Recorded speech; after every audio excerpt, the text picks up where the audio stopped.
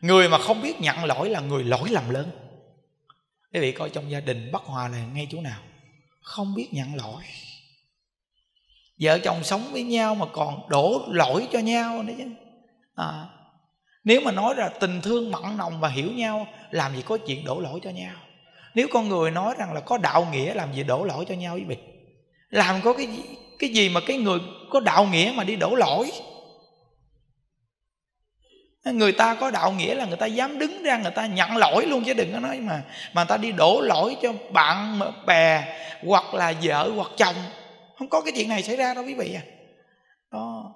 Nên chúng ta bây giờ học phật là phải học biết nhận lỗi.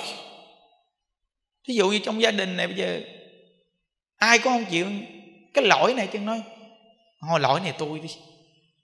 Tại vì sao? Vì tôi có lỗi, nên nhà này nó mới như vậy nếu mà có một người nhận lỗi thì là xong việc rồi. Con người vì cái ngã mà đâu chịu nhận lỗi đâu quý vị.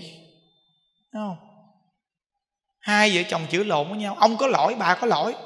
Tôi nói ông có lỗi. Tôi nói bà có lỗi đó. Tại ông á, tại bà. Cứ là tại ông, tại bà một chút tức lên bóp bóp bóp đúng không? Còn nếu như mà ông là đàn ông hồi được rồi, tôi có lỗi đó tôi là đàn ông mà, không có trách nhiệm, không biết ờ, dạy gia đình nghiêm túc. Tôi là đàn ông có lỗi.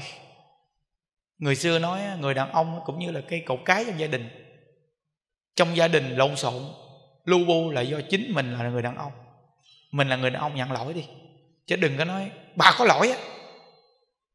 Thấy không? Tâm đàn bà là nhỏ nhen, đàn ông nên, mình nói người ta có lỗi, người ta không chịu đâu, mình là đàn ông gánh vác đi à được rồi tôi có lỗi. Vậy là xong chuyện ấy mà cái tâm nhận lỗi đó đó quý vị nó, nó, nó đánh vào tâm can người ta mạnh lắm. À. mà mình là người học phật mà mình hiểu nhân quả mình đi đổ lỗi cho người khác vậy là sai lầm. Sai lầm là mình.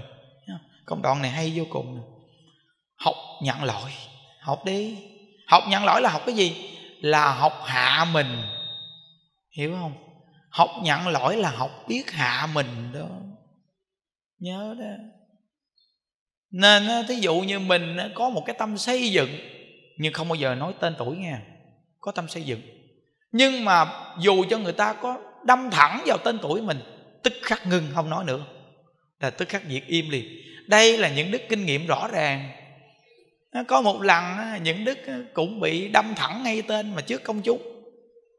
Mà một người nổi tiếng vô cùng luôn. Những đức im ru một cái là xong chuyện. Thấy không? Chứ nếu mà những đức chơi cái cách mà trên mạng cái chọt tới chọt lui, kiểu này những đức thấy nó hàng tại vì sao? Vì cái tính của mọi người mình cần chơi gì chơi thẳng ngay mặt. Chứ làm gì mà bỏ lên mạng mà chơi tới chơi lui chi nên những đức thấy im là xong chuyện. Ha không? xong chuyện không có gì gì xảy ra nữa cả. Mà ngộ thay là nó chỉ cần mà qua một lần gì là nó tạo cho mình một cái góc độ để học tập liền. Nên những đức nói học phật, muốn tiêu nghiệp là gì? Là tập nhận lỗi tập nhận lỗi câu thứ hai là học nhu hòa. Răng người ta rất cứng, lưỡi người ta rất mềm. Đi hết cuộc đời, răng người ta lại rụng hết, nhưng lưỡi thì vẫn còn nguyên. Cho nên cần phải học mềm mỏng, nhu hòa. Thì đời có người ta mới có thể tồn tại lâu dài được. Giữ tâm nhu hòa là một tiến bộ lớn. Hay không? Những đức mà đọc, những đoạn văn thì cháu bị nghe là những đoạn văn này phải đặc sắc lắm. Phải rất xác thực và rất hay. Mà cái chữ nhu hòa này người đàn bà trong gia đình là một cái thế mạnh.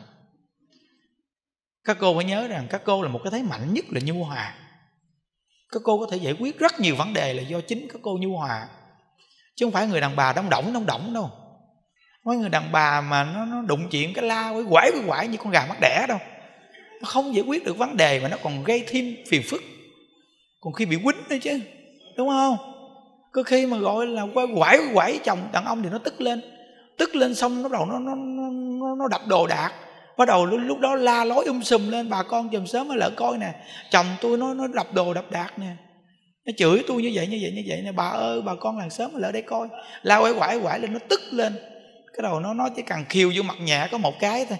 Vậy mà bắt đầu nhảy đông động đông động lên mày quýnh thêm cái nữa đi mày ngon. Nè cái mặt tao này mày quýnh đi mày quýnh đi mày quýnh ngay chỗ này nè. Mày ngon mày giọng thêm cái nữa đi. À, quýnh một cái chưa muốn nó quýnh mấy cái tiếp tục bắt đầu là nằm dậy tiếp tục nó đá thêm vài đá nữa. Thấy chưa? Nên cái thế người đàn bà là gì? Là học nhu hòa. Bây giờ mình đi học phật là học nhu hòa. Cái tính tình ngày xưa đông động đông động đó quát quát đó đó. Nó không có kết quả rồi, bây giờ đổi lại đi. Sửa lại.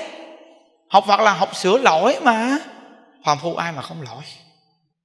Chúng ta học phật là học sửa lỗi phật pháp là gì? Phật pháp cho chúng ta để sửa lỗi bây giờ mình không chịu nhìn nhận vào cái góc độ gì chính mình thì mình không sửa lỗi. Không, không chịu sửa. Nên mấy cô nghe chỗ này trời chồng nó cũng mê nữa. Nó cũng thích nghe à, à, à, à ông thầy không giảng được á thầy không giảng được á. Ông ông thầy không giảng chỗ này được. À bà nghe nghe chưa nghe chưa? Thầy giảng đó nghe. Nhu hòa đi nghe quay quải quay quải tới nghe. Tôi mà đi kêu mà rượu chè thì cứ lo cứ, cứ bài cái đi thì dở mà. Nó nó làm mồi màng làm mồi màng đi. Nói dòng do gì? Nhu hòa nghe chưa? Thầy dạy đó. Mấy ổng nha ổng chưa đến đây mà ổng nghe chỗ này là ổng nói à, thầy dạy đó nghe thấy chưa? Lúc đó mấy bà đó, ờ, ờ ờ ờ ờ nghe nghe tức rồi đó. Thấy không? Nghĩa là mình phải học thật đi. Quý vị nghe cái công đoạn mà răng người ta rất cứng lưỡi người ta rất mềm. Đi suốt cuộc đời con người thì quý vị đúng là xác thực không? Rõ ràng đi suốt cuộc đời con người phần nhiều là răng rụng trước. Có ai mà lưỡi rụng rụng trước không? Cái lưỡi mà rụng trước thì chỉ còn có một cái là chúng ta bỏ mạng thôi. Bây giờ quý vị cầm kìm mới vẽ những đứt từng cái răng mới vẽ hết răng vẫn không chết. Không chết. Nhưng mà quý vị chỉ cần cắt lưỡi như thế. Chết liền không nói chẳng cắt lưỡi là chết. Đúng không? Rõ ràng, nhu hòa nó có thể tồn tại lâu dài. Nhu hòa, nhẫn, nại, hiểu, biết phương hướng rõ ràng. Thấy không? Từ nó đó nó tồn tại là người nhu hòa. Trong cái nhu nó có cương không á. Cương đúng nơi đúng chỗ và nó biết nhu đúng nơi đúng chỗ. Còn nếu lúc nào mình cũng là nhu thì cái người nó trở thành hàng. Nó không hiểu biết là nó cũng không làm được việc nữa quý vị. Nên cái người đàn ông nó những lúc mình phải nhu, có những lúc mình phải cương, có nghĩa là con người mình nó phải nắm rõ được sự việc của nó thì con người mình nó thành công ghê lắm, nên Phật pháp là trí tuệ mà quý vị. Nhưng mà người phụ nữ đặc biệt cái thế mạnh quý vị nhất là nhu hòa. Ừ, nó tồn tại quý vị đặc biệt người đàn bà mà khôn khéo là nhu hòa, trời người đàn ông nó sợ lắm. Nắm đầu nắm cổ nó cũng được nữa.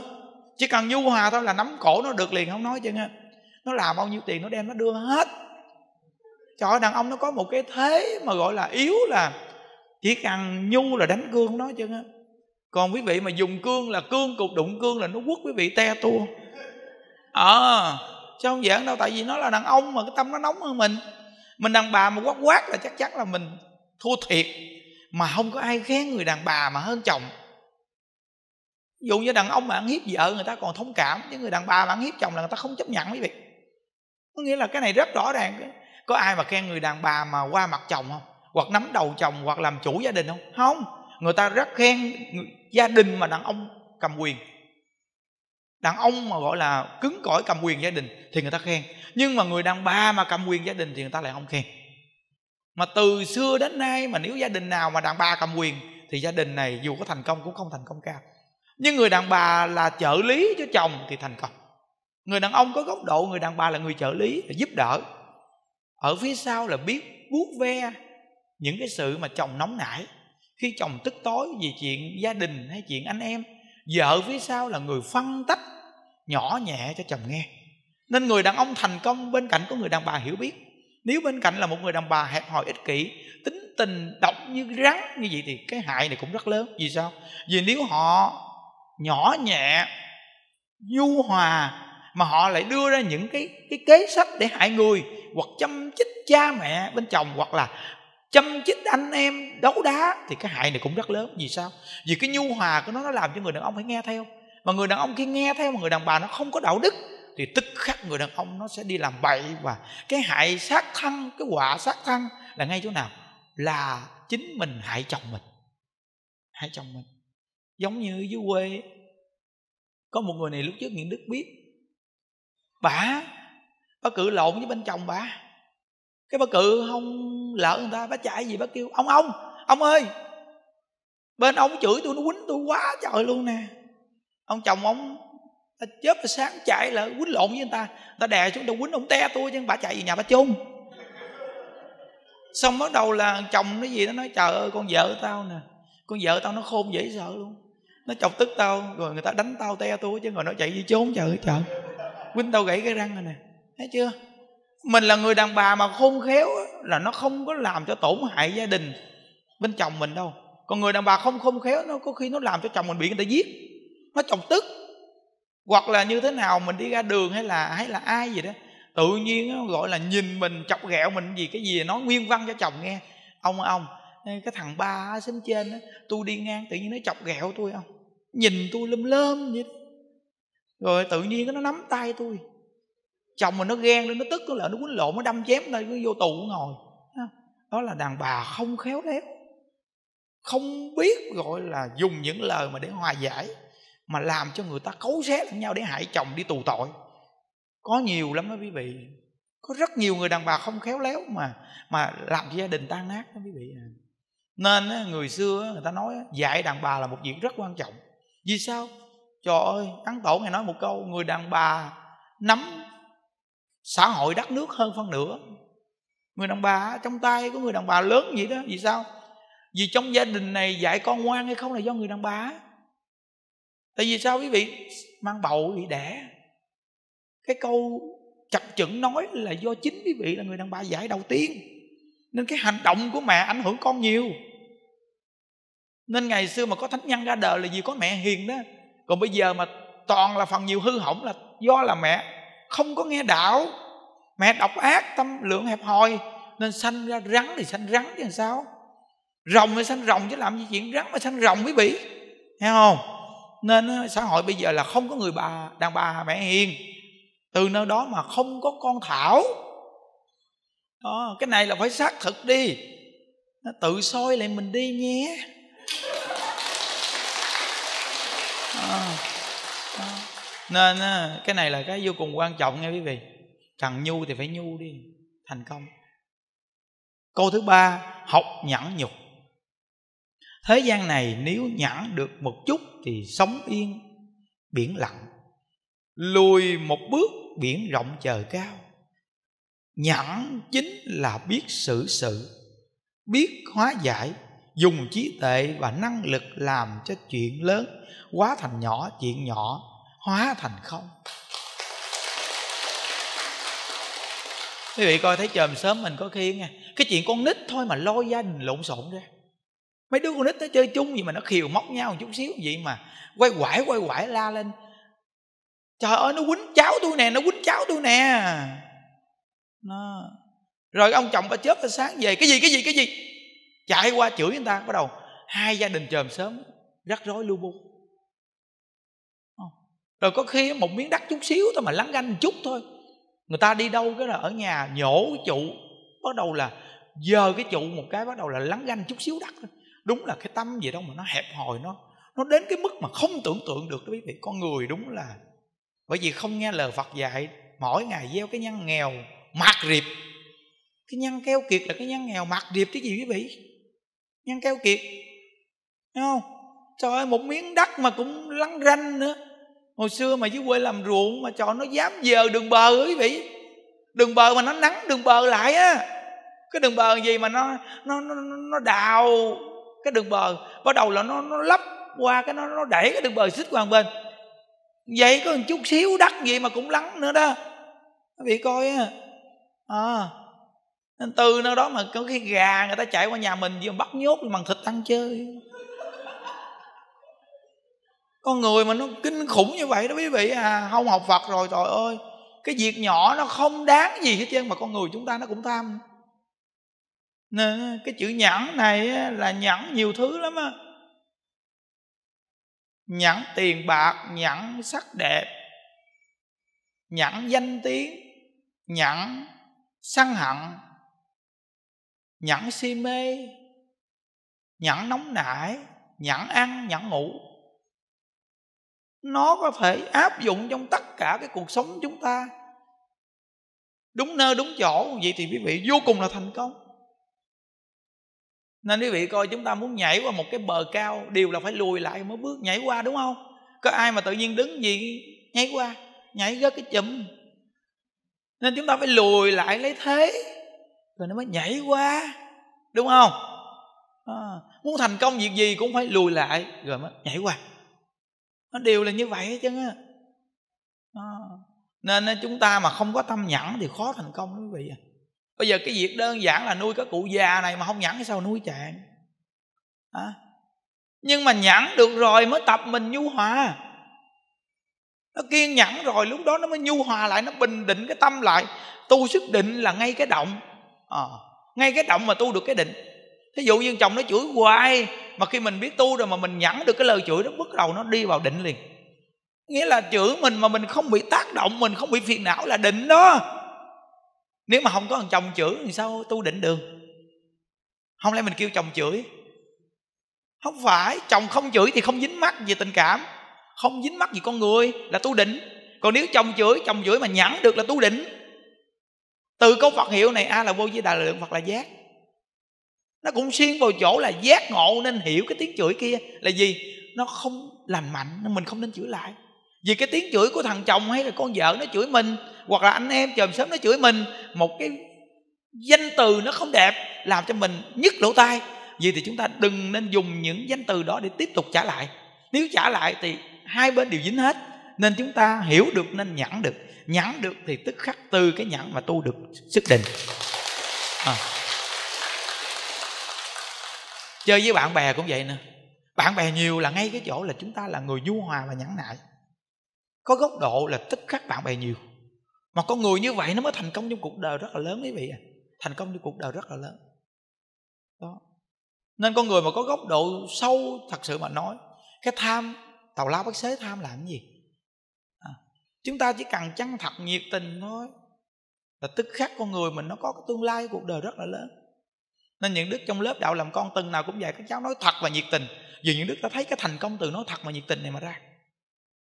Người ta tiếp nhận mình để mình có cơ hội thành công từ cái thật và nhiệt tình này mà ra quý vị à con người mà không thật, không nhiệt tình, khó thể nào có được cơ hội thành công lắm. Khó ai chịu tiếp nhận mình lắm quý vị. Phải nhớ đó. Nên từ nơi đó mà chúng ta phải tập mình như vậy đó. Mình là người tu hành giải thoát, cái nhẫn và cái nhịn nó còn cao hơn. Đây là cái giúp mình cái cái tâm mình nó nó nó thoải mái, an lạc trong cái cuộc đời này. Thật sự mà nói thì con người có thể học được cái, những câu này thì tức khắc con người bị bị nó bình yên vô sự. Cái sự hơn thua nó làm cho mình không có bình yên đâu. Nó làm mình bất an đó quý vị, dù mình có hơn người ta mình cũng thấy bất an lắm. Mình chỉ cần làm sao đúng cương vị, mình làm nhiệt tình thôi, mình đừng có đụng chạm gì với ai thì mình thấy thoải mái lắm. Cũng như những đức mỗi ngày, những đức sống thấy thoải mái vô cùng luôn mỗi lần lâu lâu mà nó chỉ cần suy nghĩ cái chuyện xa vời là thấy bất an liền à.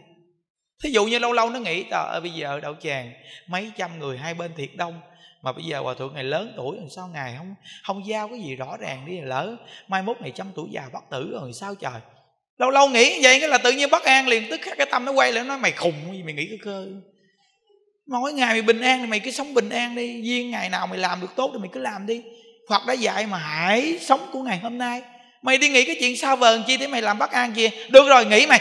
Cái buông ra liền. Đó thấy không? Trong cái mê nó có cái giác liền. Còn nếu mà nó không giác, bắt đầu là nó theo cái nghĩ đó. Nó lao theo cái nghĩ, nó lao theo cái nghĩ, bắt đầu nó tìm cách gì, cách này, cách kia. Để mà dự trữ tư tưởng làm sao, lỡ cái chuyện gì sau này mình còn có chỗ đứng, tức khắc nó làm cho mình bất an liền. Tại sao những ngày hôm nay mình không sống cho tốt đi? Mỗi ngày mình vui đi, còn ngày mai, ngày mốt, sau này cái chuyện của sau này, có duyên, rồi có phước, nó mới kết hợp được như hồi nãy những đứa gặp một ông huynh đệ, ông nói, có một nơi ông hướng dẫn ta tu cũng mấy năm nay, mà bản hiệu thì chưa có. Những đức hỏi, vậy thầy có hướng dẫn ta tu được không? Dạ được. Có cái là cái chỗ ở không được làm bản hiệu. Nhưng đức nói, bản hiệu chi mất công. Có bản hiệu chi, chỉ cần hướng dẫn người ta tu được rồi. Cái tịnh thất hay cái chùa hay là cái nhà gì cũng được.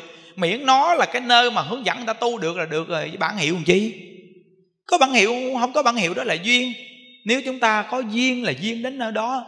Chúng sanh có phước thì chúng ta có thể có duyên, chúng ta làm điều tốt. Cho chúng sanh lợi ích là phước và duyên kết hợp thì chúng ta làm được. Nếu như chúng ta có duyên đến đó mà chúng ta không có thể làm được giúp cho chúng sanh là chúng sanh ở nơi đó không có phước. Vì thôi chúng ta đừng có chấp nhất nặng nề chí nặng nề làm gì? Còn có bản hiệu làm gì? Khỏi. Không có đặt vấn đề quan trọng. Cái quan trọng là nó âm đức. Cái quan trọng là nó tốt đẹp tức khắc nó tồn tại lâu dài. Nên những đức mà chia sẻ những điều này quý vị nhớ nè con người chúng ta là ưa bị dọ mình lắm nó dọ mình đó. Cái tâm mình nó dọ mình chứ đừng có nói cái đâu cảnh ngoài gì cái tâm mình nó dọ mình á. Thí dụ như ở nơi nào đó một số người không tu họ mỗi ngày họ làm ác vậy mà có dịch bệnh hay có cái gì bắt đầu nó đồn lên nó đồn nó nào là nào là cái này cái kia bây giờ gì chuẩn bị cái, cái cơm gạo chuẩn bị mì gói đồ này kia đồ để mà mai mốt lại có chuyện gì có ăn những đức nói có chuyện gì rồi mày bỏ mạng mày chứ có ăn. Ví dụ như nước nó dưng lên mày lên lấy gì mày nấu mày ăn. Đó là cho nó nghĩ cái cái cái cái, cái khơ khơ để nó lo sợ. Nhưng mà cái gốc là tạo tội để sanh ra những cái quả báo mà đến với mình không phải thì nó không chịu sửa đâu. Vậy mà nó cứ lo cái chuyện ngoại cảnh không mà. Quý vị biết rằng bây giờ phần nhiều con người ta là cái gì không? Nước đến chân rồi muốn muốn ngăn chặn nước trời ơi, nước mà dưng mà nói mà ngang làm gì mà con người mà ngăn được nước quý vị coi? Nước nó mềm mà nước có thể phá thành lũy đấy quý vị à. Nên cái cái nhu hòa và nhẫn nhục này như nước hoặc ví dụ như nước nước quý vị thấy mềm dẻo vô cùng, quý vị lấy dao đi chặt nước, chặt là chặt chặt chặt chặt chặt chặt. Nhưng mà vẫn liền lại bình thường, nhu vô cùng, nhuyễn vô cùng luôn. Vậy đó mà nước có thể rửa nhà vệ sinh, nước có thể cho chúng ta uống nước có thể ờ, đập nát nhà cửa, nước có thể làm cho con người ta chết, và nước cũng có thể làm cho người ta sống. Nước có thể dâng tràn ngập cả thành lũy, đập nát cả đê điều, mà nước cũng có thể tưới cả ruộng đồng được, xanh tươi. Đi coi, đơn giản vậy thôi mà không đơn giản đó nên từ nơi đó, cái nhu hòa và cái nhẫn nhục này là là một cái pháp tu đặc biệt mà mỗi người tu mà mà không áp dụng cái này là quý vị không bao giờ thành tựu đâu nó nên đại lão hòa thượng định không? Ngày có nói một câu, nếu lấy tâm sân hận mà mỗi ngày niệm phật, như vậy chỉ kết duyên với phật a di đà chứ làm sao được giải thoát? Con người nhu hòa và nhẫn nhục là có thể lấy tâm diệu để niệm phật thì mới thành công. Lấy tâm tha thứ để niệm phật mới thành công. Lấy tâm khoan dung niệm phật mới thành công. Đó. Nên ờ, phải tập nhẫn nhục. Nhục mà còn nhẫn được thì việc gì mà không nhẫn được một đời này ngắn ngủi lắm quý vị à, mấy chục năm mà. Sống trong cái cuộc đời này quý vị coi kiếp nạn. Uhm, bữa nay nghe dịch bệnh ngày mốt nghe bão lũ. Bữa nay nghe gió bão sụp đất chiến tranh đủ chuyện. Quý vị thấy sống trong cái cõi đời nhiều kiếp nạn này không? Chúng ta mấy chục năm mà đi qua tiền của giàu sang phú quý quý vị cầm theo cái gì được? Chúng ta đặt vấn đề gì nặng nề cuộc đời này? Tại sao không sống những chuỗi ngày bình an cuộc đời mình để niệm phật đi quý vị? Không cần phải nặng nề lo âu gì cho nó mệt. À, đây là chính những đức thấy sáu bảy trăm người mỗi ngày đây mà những đức nói. Có bận tâm cái gì đâu quý vị. Không có bận tâm. Đây là thật sự nếu bận tâm những đức mới lên chia sẻ với chuyện gì đâu. Đó. nên những người mà về đây mà nghe những đức nói chuyện, chắc chắn cái tâm quý vị nó sẽ nhẹ vô cùng. Không có đói chết đâu đừng có sợ. Đến lúc chết là chết rồi, nó no nó cũng chết nữa. Quý vị coi có những người no chết không? Ăn no chết á. Có không? Có. Ăn no quá tức không chết. Trời ơi đói nó cũng chết mà no nó cũng chết. Tại thọ mạng nó đến lúc chết là nó chết à, à chứ đừng có nói no đói gì.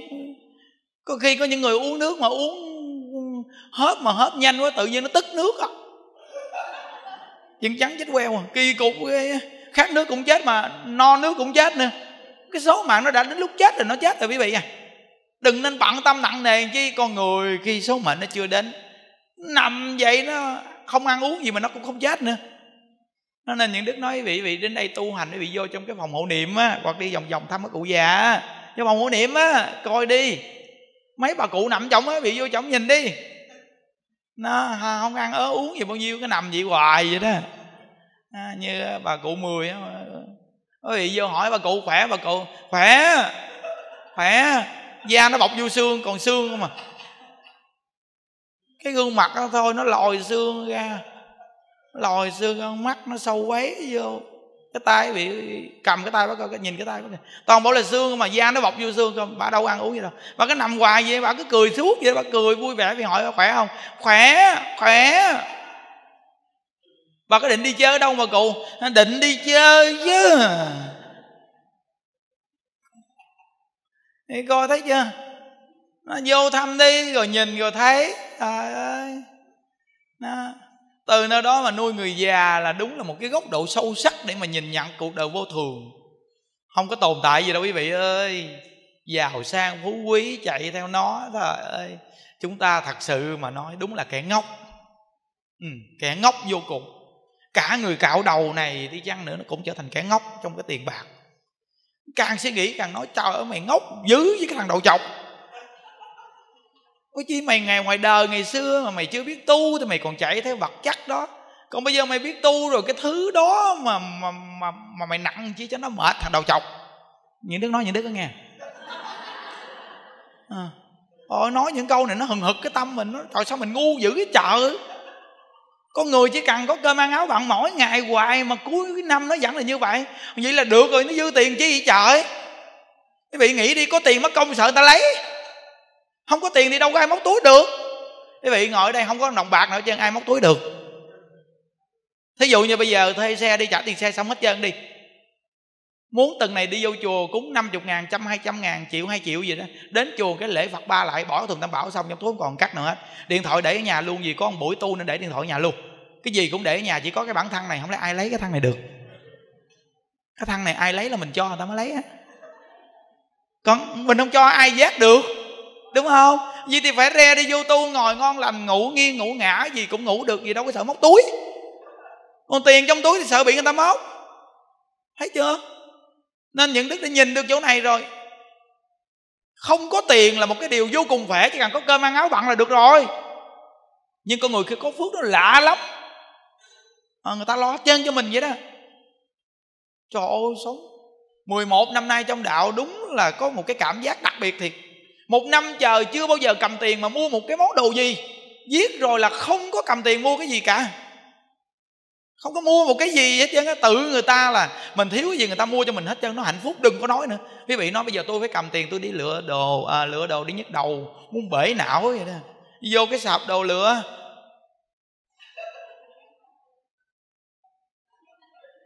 Mấy bà đi lựa đồ công nhận không?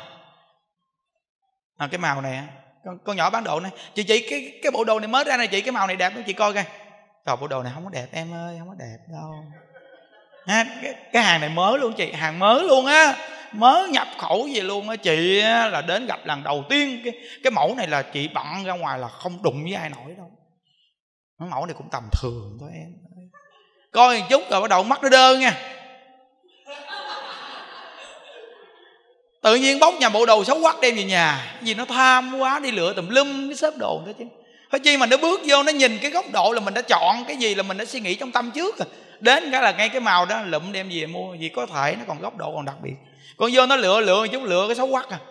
Có nhiều bà hồi xưa, gái á, ôi ơi ai đi đến coi cũng chê, thằng này cao quá mà ôm thằng này mập quá lùn. Vậy thì góc độ của em chọn là sao? Ảnh phải cao, bự con, tướng tá đầy đặn nó chọn gì đâu mà kinh khủng cái gì nó chọn cuối cùng lụm nhầm cái thằng si cầu que lùm beo xẹp lép. Đúng không? Cuối cùng đúng là gọi là bỏ vô dưa nắm vô dừa. Ừ, đúng không? Từ nơi đó nó nó, nó chọn với nó chọn tàu lao bác sĩ không à. Giống như ờ, đi đi học Phật pháp lụm tùm lum tùm la đi đâu cũng vậy giống như mình là người đa, đa văn vậy đó không? Đi đâu cũng muốn học có chứ học học học. Vậy mà cuối cùng không ra cái thứ gì chứ vì sao cái gì cũng lụm lặt bỏ vào thành tạp tại không hành? Người nó chỉ cần có một hướng chuẩn thì nó thành công liền à. Duyên nó đến thì nó đến thôi. Ví dụ như có những gái trẻ ngồi đây nè cái cái duyên cái thằng này đời này chồng của mình này chạy chờ cũng khỏi nắng nữa. Cái duyên nó là đời này nó chồng mình là nó sẽ là chồng mình à. Đừng có suy nghĩ rằng à, chồng tôi phải như thế này anh phải cao ráo. À, anh phải có lịch sự anh phải có đạo đức anh phải có duyên thì sao à, không có được hô.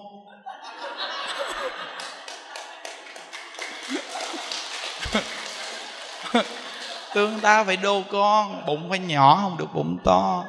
Trời ơi chứ suy nghĩ tùm lum tùm la nó làm cho mình vọng tưởng, không bằng mình có đạo đức, mình niệm phật đi. Tự nhiên cái phước duyên cái phước duyên thì phước duyên nó chiêu cảm đến thôi. Đó là cái duyên đời này là thằng đó, nó là chồng mình dù nó ở phương trời nó cũng đến làm chồng mình à. Vậy thì tâm bình khí hòa rồi, còn nếu đời này mà mình không có chồng dù có muốn cỡ nào nó cũng không có chồng. Quý vị thấy có những bà bà đâu có chồng đâu, cả đời đâu có chồng đâu. Mà khó chẳng ai vậy đó bà không có chồng, bà khó chẳng ai. Có nhiều bà ở giá, bà khó ác đạn. Kỳ cục, có nhiều người hỏi như đức nói, tại sao ở giá mà khó dữ vậy thầy? Như đức nói, ở giá gì bà thiếu thốn nên bà khó.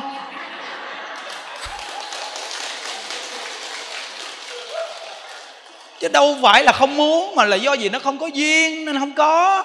Cũng muốn dữ lắm, nhưng mà không ai thèm từ nơi đó mà nó lại nhìn người ta là bà này, bà có người này, người kia, rồi lại nói người ta cái này kia là con người đàn bà nó không có, gọi là, cái đạo đức nên như vậy như vậy. Chứ thật sự mình cũng muốn chết luôn mà không ai thèm mình. Nên nó gọi là chứ đâu phải là cái người mà nó, người ta không muốn có chồng mà ta khó, người ta không muốn có chồng là người ta cảm thấy rằng là cái cuộc đời này khổ đau, người ta không có cái duyên gì hết, người ta tùy duyên. Nên người ta dễ tính. Còn mấy bà đàn bà giá là do gì muốn có mà nó không có. Ấm ức trong lòng nó khó trời, nói cái này mà bà nào ở giá cho cũng tức, trời, thầy này. Nói ngay tôi dữ trời. Không không, kiểm lại cái tâm kỹ đi. Chứ đừng có hay ho gì, nói mình là người ngon lành gì, không phải. Là do mình không có thôi. Thèm khát chết được luôn mà do nó không có. Nên tức tối, ấm ức, nên khó tính. Nên nhìn ai mà mà mà gọi là con cháu mà nó quen ai mà con trai đến chọc đồ.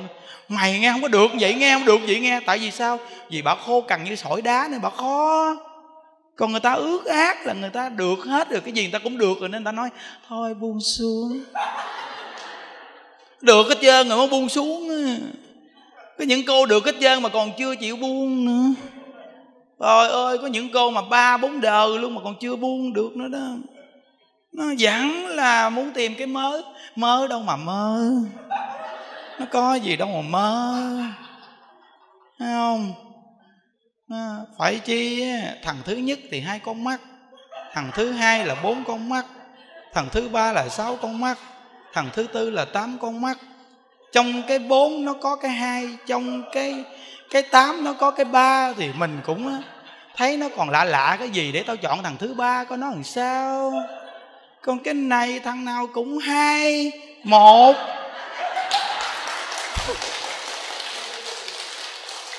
Đúng không? Chứ có gì đâu mà khác. Chọn gì hiểu hết trơn rồi, chỉ cần quan sát một thằng thì sẽ hiểu tất cả các thằng thôi. Thông một pháp thì thông các pháp thôi. Vậy đó là tự nhiên người đàn bà mình nhất định sẽ an phận thủ thường thôi. Không có sống núi này trong núi nọ. Sống với chồng mình nhìn chồng người ta. Sống với thằng chồng nhỏ con thì nhìn thằng chồng to con. Nhìn cái thằng bự con, không biết thằng bự con này sao nữa. Nói sao đâu?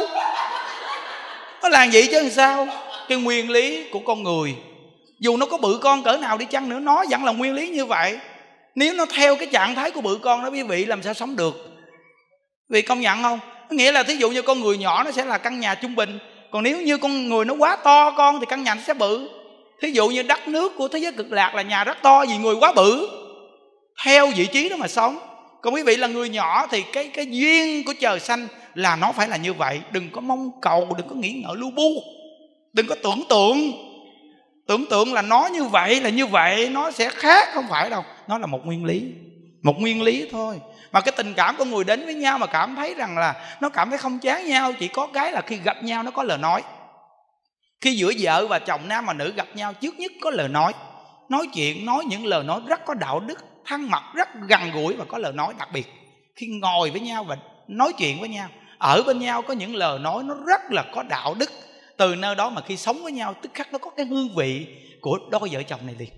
Còn nếu như ba chớp ba sáng, chụp đại chụp càng, lãng quạng, lu bu, không có lời nói gì, vậy thì sống với người đàn ông vậy nó chán, mà người đàn bà vậy nó cũng rất là chán, quý vị. Trong đạo pháp những đức nói gì, quý vị nghe, quý vị mở rộng ra thêm. Như cái cuộc đời, quý vị. Đó. Đây là những đức kiểm nghiệm rất rõ ràng vì những đức đã từng trải cuộc đời dữ quá. Nó rất là mau chán, vì sao? Nó cứ là chưa nhai mà nuốt không à vậy nên nó chán vô cùng. Nó đâu có hưởng được cái hương vị của cái món ăn. Một cái món ăn nó phải từ tốn thì nó mới có cảm giác được. Còn nếu như một món ăn mà nó sổ sàng quá thì nó đâu có cảm giác của món ăn. Nó rất là dễ chán quý vị à. Nên con người đến với nhau, đặc biệt nhất là nó phải có lời nói đến với nhau. Khi gần gũi với nhau, nói chuyện đồ một cái lời nói đạo đức, nhắc nhở nhau những cái nhân cách làm người, khuyên nhau những cái điều tốt đẹp. Lúc đó là lúc có thể dạy nhau rất dễ nghe. Đó là vợ chồng có thể hạnh phúc đó quý vị chứ mình đừng có theo cái thờ thế này, mà mình nhìn cái hình thức mình cứ là thay lòng đổi dạ như là thua rồi. Mình là người nghe đạo rồi tức khắc con người mình chung thủy liền, nói chứ. Chung thủy gì nó là một nguyên lý hết à. một nguyên lý không khác. Nhớ nên nhẫn đi không? Tập nhẫn đi nghe. Có chồng được rồi, đừng có không nhẫn mà đòi hỏi. Mới lạ nghe còn các ông đừng có có tiền giàu sang mà đổi bạn, đổi vợ, đúng không? Mình có người mình giàu sang là nhờ cái phước. Mình không giữ cái phước mà đi phá cái phước mình thì mình sau này không có được cái gì nữa, hết mất hết, sạch nhất hết nghe không? Nên có những người ta chụp nhiều tay, cuối cùng không có cái cái gì trong tay nữa thà mình chụp được cái gì thì mình nắm cho chắc đi. Vậy mà nó tồn tại đó quý vị. Nên người ta nói câu cũng hay á, một vợ nằm giường lèo, hai vợ nằm chèo queo ba vợ xuống chuồng heo mà nằm. Trời ơi nó gặp nhiều ông nhiều vợ rồi. Khổ te tôi đi xin ăn được không đi bán giấy số được không khổ nằm đầu đường xó chợ không có đàn bà nào mà nó nó nó chăm lo. Tại vì sao? Vì nó canh nhau. Nó à, ông lợ bà ba đó bà nuôi đi. Lợ bà hai đó bà nuôi đi. Tôi không có trách nhiệm đâu. Ông đâu có chung thủy với tôi đâu tôi có trách nhiệm. Nó đổ qua đổ lại. Giống như quý vị tu nhiều pháp vậy đó. Niệm nhiều phật vậy đó thì phật nó chắc chắc niệm phật đó, phật đã đến rước rồi. Phật đã rước rồi thôi ta nghỉ ngơi. Cuối cùng phật nào cũng nói vậy chân thì lúc cặn tự nghiệp quý vị. Phật nào tôi niệm phật nào bây giờ chờ niệm phật nào đây? Tại vì nó đâu có phương hướng đâu. Bây giờ quý vị cứ nắm chắc một phật a di đà niệm tới cùng đi, phật a di đà sẽ có trách nhiệm với quý vị liền à. Vì ngài nói rằng á chúng sanh mười phương nghe danh hiệu ta. Chí tâm tin ưa, chí tâm là một câu phật hiệu niệm đến cùng. Tin ưa là thích thú niệm phật một hướng chuẩn xác. Chỉ cần đến khi mệnh chung, chỉ cần một niệm đến mười niệm thì ta là phật a di đà. Sẽ đến trước ngài đã hứa như vậy thì chúng ta cứ làm đúng là chúng ta cứ niệm a di phật đến cùng, ngài có trách nhiệm. Ngài đã hứa mà. Người ta là phật mà. Nó hứa mà lo gì? Những đức hứa tặng áo, những đức còn tặng áo nó không chi mà phật trời ơi, kẻ phàm phu này nó lừa gạt, lừa dối người ta mà có khi nó còn muốn giữ lời nè. Không chỉ là phật là lời chân thật ngữ mà mình lo gì? Mình cứ tin ngay phật đi. Niệm phật là có kết quả rồi. Niệm phật tự nhiên nó hiền, niệm phật tự nhiên nó lợi ích. Niệm phật tự nhiên nó an lạc, đây là xác thực rồi gì mà lo nữa. Niệm phật có tung tiền đâu mà mình sợ, mất mát. Không? Cái làm ăn niệm phật là nó đặc biệt. Nó cũng bỏ công, bỏ của gì nhiều đúng không? Đâu có bỏ của, đâu sợ lộ đi đến đây niệm phật đâu có lộ. À, thấy chưa? Vậy mà nói còn nghi ngờ gì trời? Đức phật ngài phát ra cái lời nguyện người ta tu quá trời luôn người ta phát một lời nguyện vậy mà còn nghi ngờ nữa. Tào lao ghê luôn. Đúng là cái cuộc đời mình đụng cái gì cũng nghi chứ cái gì cũng nghi chứ ha nghi thành quen rồi. Ông này ông cười là mình cũng cười theo. Kỳ cục ghê luôn. Cái nhăn cười là mình mình cười theo thôi cũng được đi, đừng có làm cái nhăn khóc là được. Quý vị mà gần một con người mà nhăn nhó, nó nhăn theo quý vị. Ví dụ như quý vị lấy nhầm chồng hay vợ đi, nhăn tối ngày quý vị nhăn theo á. Ví dụ như quý vị gần một con người mà mỗi ngày cái mặt. Quý vị nhìn cái mặt đó, quý vị làm theo á. Làm theo á, quý vị thử đi, hai người mà ngồi nói chuyện với nhau mà cái người này mà nói mà mà cái mặt làm nè cái tự nhiên cái người ngồi kế bên làm nè. Nó ngộ vậy đó quý vị. À, à chính những đức nè có khi những đức nói mà cao vọng mà nói hơi cao lên nó nói cái tiếng mà nó hùng hồn lên cái có những người dưới ngồi làm gì nè. Người ta làm theo mà. Mà nếu những đứa ở đây mà nói mà vui mà cười người ta dưới người ta cười hết trơn à. Nó thấy chưa nó rõ ràng không? Cái nhân cái quả nó phù hợp không? Nên mình mà lấy được một con người mà nó hài hòa nó vui vẻ nó an lạc là mình thấy mình có phước rồi đó chứ đừng có chơi nó nó lùng nó lé gì kệ. Nó miễn nó nó có duyên là được rồi đúng không? Có duyên là ngon rồi đúng không? Sợ nhất là vô duyên á. Sợ nhất là đẹp mà nó không có duyên gì chứ. Nói chuyện thì nó bữa không à. Một cái câu nói mà nó bữa mà người ta kêu em. Nó cũng là một tiếng em. Nó em! Nó bữa vậy đó chịu nổi không? Ờ, à, khi kêu mình ăn ăn đi. À, mặt lúc nào cũng lạnh. Cái mặt lạnh đó giống như nhất là những người mà học hành đồ nhiều mà không thông á đọc sách nhiều mà không thông á tưởng nó mình là người người người cao xa phải không? Mặt lúc nào cũng lạnh. Hoặc có chức phận gì một chút á. Chi chờ? Chi cho nó mệt đi chờ? Càng chức phận cao nào càng đơn giản nấy. Càng đơn giản nấy thì sao người ta nói trời ơi, ông này có chức phận gần gũi ghê dễ thương quá à. đúng không? Có chức phận gì hoặc là mình được giàu sang tự mặt nghiêm mặt nghiêm giống ai chứ. Người ta cười, không cười. Giờ có chức phận không có cười nữa. Khổ ghê trời, một nụ cười bằng 10 tháng thuốc bổ sao không đi cười đi. Tự nhiên cái mặt nghiêm chi ạ? À? nghiêm chi cho người ta sợ mình trời. Mà mình mà sống với người chồng mà mặt nghiêm, mình cũng bị khô khan nữa. Cái mặt ông nghiêm quá nên mình đâu có dám giỡn với ông, đâu có dám nói chuyện vui với ông đâu. Nói chuyện vui mà ông bữa mình sao, đúng không? Từ nơi đó mà mình, mặt mình với nó già luôn. Mà những cái người mặt nghiêm nó già lắm quý vị nghiêm mặt già lắm. Nghiêm.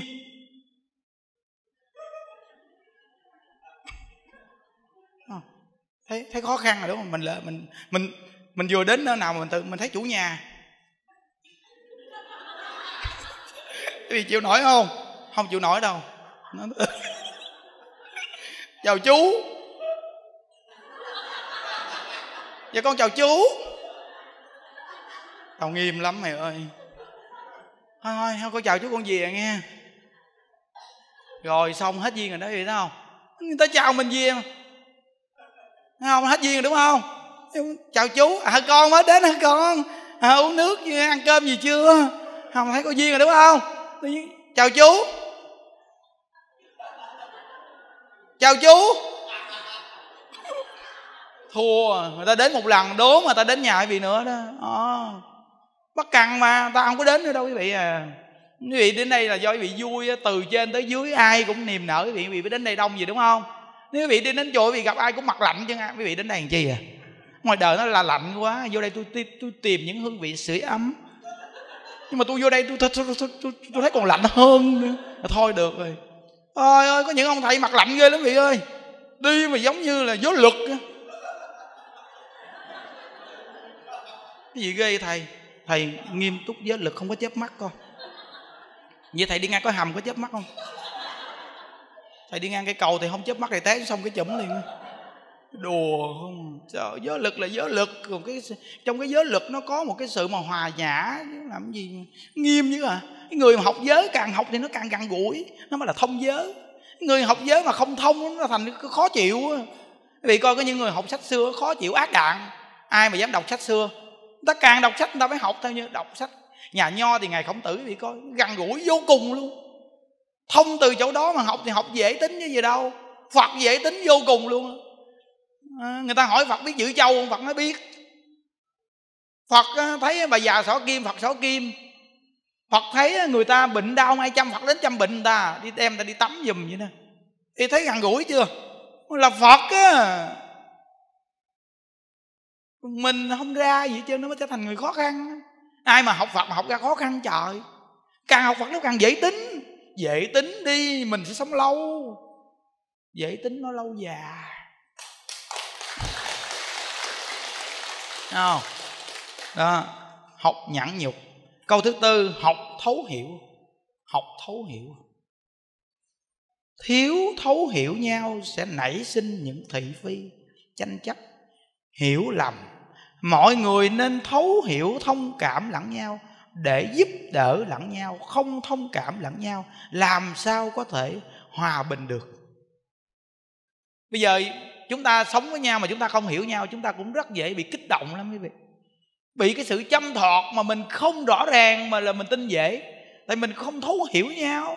Thí dụ như vợ chồng sống mà không tin tưởng nhau, chỉ cần nghe người ta nói tầm bậy, vợ của mày tao thấy hôm qua đứng cái thằng nào ngoài đường nói chuyện cái gì? Về đây tôi quýnh nó mà chặn cho mày te tôi luôn á.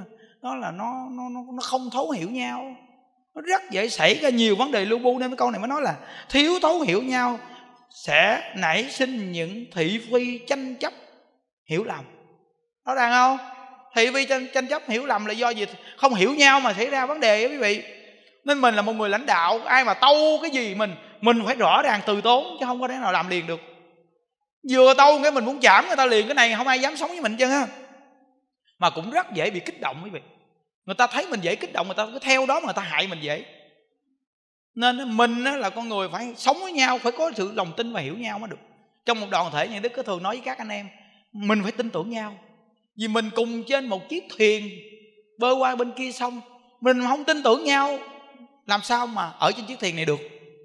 Đúng không? Trong một gia đình phải tin tưởng nhau dù cho người ta có gạt mình mình cũng tin tưởng nhau. Vì sao? Vì mình tin nhân quả.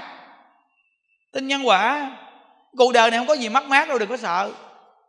Cuộc đời này không có gì thiệt thòi đâu, quý vị. Chỉ cần nghĩ không có gì mất mát, không có gì thiệt thòi. Và không có gì để chúng ta bị lấy hết trơn. Gì thì quý vị yên tâm rồi đó. Nhớ nghe không có gì bị lấy mà cũng không có gì mất mát, cũng không có gì thiệt thòi hết trơn á.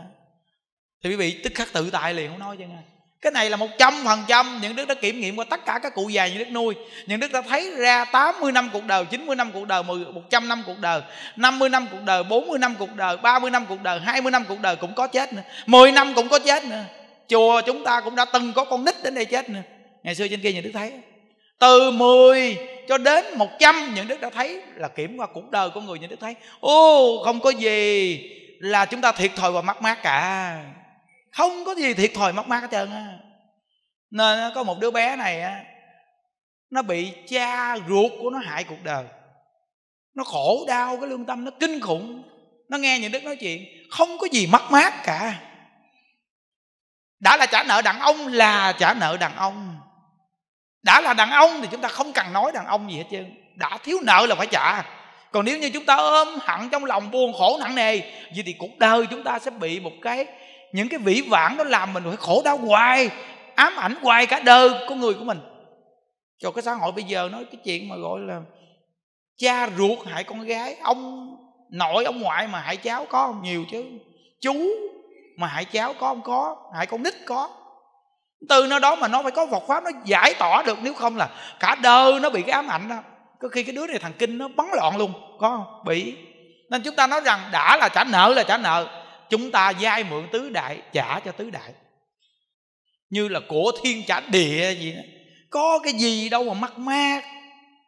Của bữa nay tay mình, ngày mai tay người khác. Nhà mình đang ở là đang nhà mình. Mình bước ra khỏi nhà là không phải nhà mình. Của mình đang để trong túi là của mình. Của để trong ngân hàng không phải của mình. Phải nhớ đem của để vô ngân hàng không phải của mình nữa. Quý vị chỉ cần một sơ xuất gì đó mà bị bỏ mạng, không có của mình đâu của trong tay mình nè, như cái máy bấm số niệm phật đang trong tay mình là của mình nè. Đây là mình có thể quyết định quay tới quay lui, mình quyết định nè. Còn cái máy niệm phật này để ở chỗ khác, cách xa chúng ta là không phải của mình nữa. Nó rất dễ vô thường, không còn cái của mình nữa đâu. Trời ơi, con người chúng ta mà một tay che chờ được sao? Chúng ta không biết đủ nên làm mình khổ đau nặng nề, quý vị à.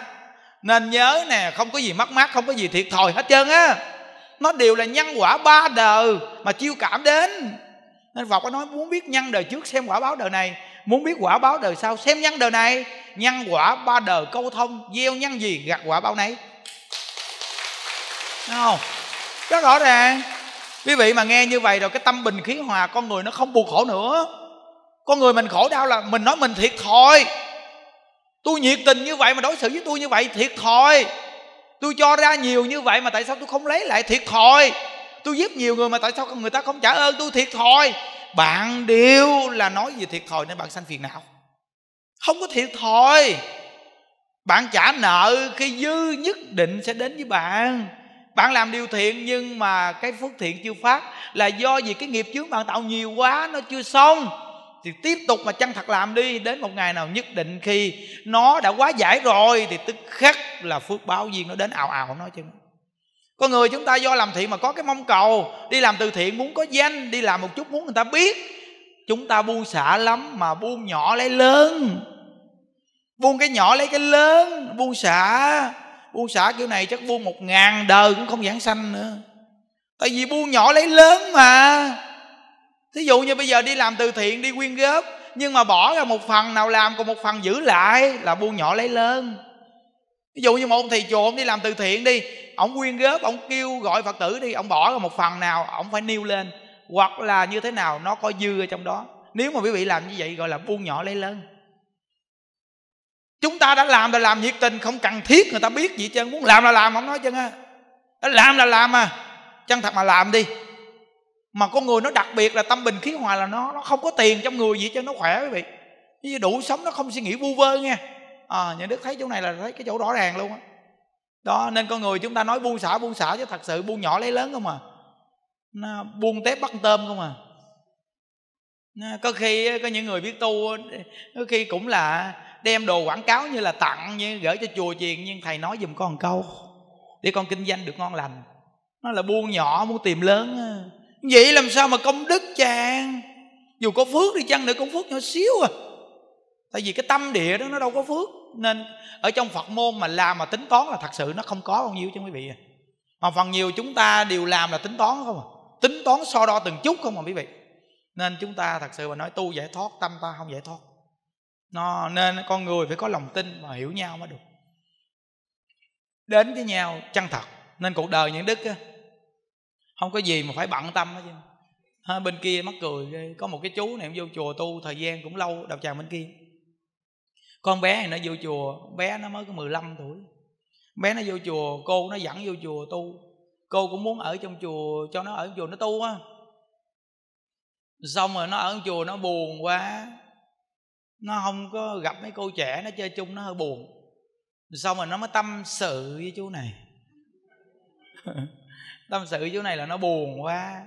Cái chú này ổng uh, dặn nó lên trên cái ờ, khu mà mấy cô trẻ bên kia bên cho nó chơi chung. Cái giờ đó cũng ờ, tám 8 giờ tối. Cái đầu cháu bà đâu mất tiêu. Cái bà la um sùm lên, bà nói là cái chú này dặn cháu ba đi đâu mất tiêu.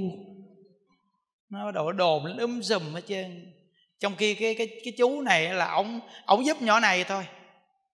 Nó quý vị coi cả trong chùa luôn mà nó cũng chuyện này chuyện kia lu bu lủng xộn nói quý vị thấy cái cõi đời này không? Nó đâu mà nó không lộn xộn lu bu trời.